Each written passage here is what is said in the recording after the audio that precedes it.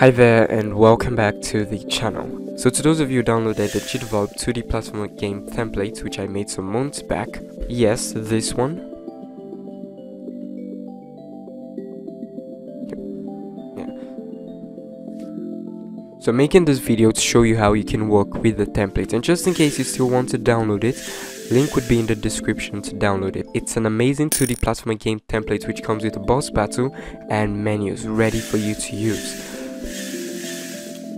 So after downloading it from itch.io and extracting the file, you should see a folder like this, Miles Journey Game. So you can go ahead and open up the folder here. It comes with a readme and the Miles Journey source. So this is the source, this is where you find the files and the readme just tells you how to work with this file. So you can read that or I'll just explain what it says in this video.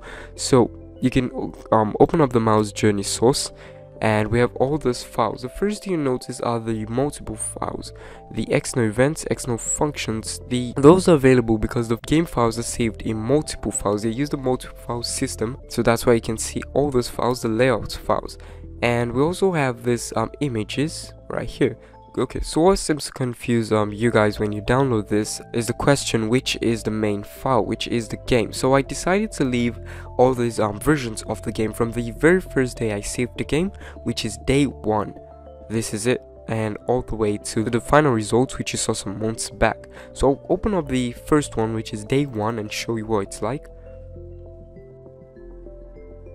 Keep in mind this is not the main file actually. This was the first day making this game Okay, so this is what it looked like. I'll just zoom out and zoom out.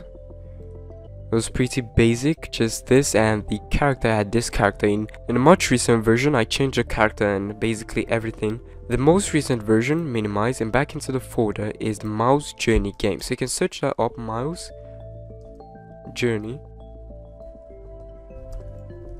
game and here we have it. This is it right here. So this is the most recent version.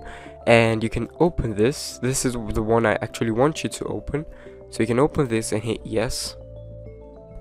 Okay, and we have this. It opens up into GDevelop. We have the menu and all the stages the boss battle the settings level select and the field stage they're all ready for you to make use of.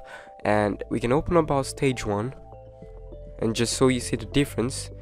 And this is it. This is a full game ready for you there we go so there you go, once again, if you want to download this, a link will be in the description. And if you want to see a preview of this game, I would also leave a link in the description where I previewed this game. I previewed like three stages of this game.